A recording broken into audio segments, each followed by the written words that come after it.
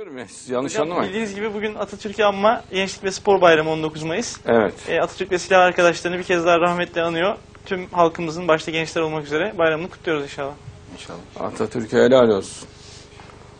Ya olmasaydı şu an yobaz azgınlığını düşünemiyorum ya. Sokağa çıkamazdık ya Allah vermesin. Yani şu, bak Atatürk'ün kurduğu sistemde bile bu kadar azıyorlarsa, Evet hocam. bu kadar şirretleşiyorlarsa bir de Atatürk'ün kurduğu sistem olmasaydı ne olurdu bir düşünmek lazım. İnşallah. Yobaz azgınlığı fevkalade Atatürk durduk yere ortaya çıkmadı. Maşallah. Atatürk'ü Allah yaratırken bir hikmetle yaratıyor. Ona bu görev verirken bir hikmetle veriyor. Tabii. Mehdiyetin başlangıcıdır Atatürk. Evet hocam inşallah. Atatürk olmasa Mehdi çıkmazdı. Bak kız erkek karışık oturuyorsunuz. Müzik dinliyoruz. Heykel var. Resim var. Konuşabiliyoruz. İstediğimiz gibi giyiniyoruz. Maşallah. İstediğimiz gibi yiyip içiyoruz.